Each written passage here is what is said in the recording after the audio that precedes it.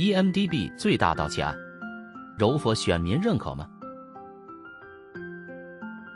民主行动党伊斯干达公主城国会议员林吉祥于二零二二年二月二十三日星期三在吉隆坡所发布的媒体文告：柔佛选民是否会认可被称为或许是世界史上单一最庞大的盗窃案的一马公司丑闻？马来西亚人民在上周得知，一马公司丑闻的两名主谋的其中一名，如何在一个晚上豪掷来自一马公司资金的数百万领级举办一个奢华的三十一岁生日派对，并有获得明星费用的超级巨星出席他的豪华聚会。这些明星既有里奥纳多·迪卡比奥二十五万美元，巴黎希尔顿十万美元，梅根·霍斯二十五万美元。和金卡达仙五万美元。根据单据显示，刘特佐的拉斯维加斯派对耗费了三百六十万美元。主要的开销事项包括六十五瓶的水晶香槟，共十万美元，为明星来参加派对所支付的令人咋舌的三万九千九百五十五美元小费和其他费用。《华尔街日报》甚至将刘特佐的生日聚会形容为拉斯维加斯历来所出现的最夸张派对。我们也在本周得知，一名前高盛集团银行家使用他收自一马公司的钱来为他当时的情人购置位于伦敦的价值一千万美元的房子。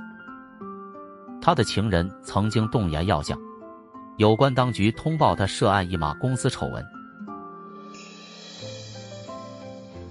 所有的这些事迹都是源自一名马来西亚籍银行家黄宗华位于纽约的刑事审讯。他涉嫌在数十亿美元的一马公司丑闻里贪污，被指控收取三千五百万美元的秘密佣金。这个审讯预计还会进行数个礼拜。无论黄宗华被判有罪还是无罪，或者他是否成了戴罪羔羊。他的律师已经向纽约法院呈上相关证据。眼下的事实就是，最终要为一马公司在这些夸张派对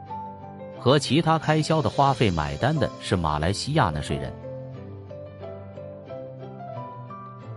没有任何执法当局否认一马公司丑闻的真确性，所以它不是子虚乌有、不存在的。事实上。美国时任总检察长塞申斯甚至在那个时候将之称为窃国罪行最恶劣的案例。所以，让人更为震惊的是，一马公司丑闻的另一名主谋没有因着这个丑闻受到任何打击，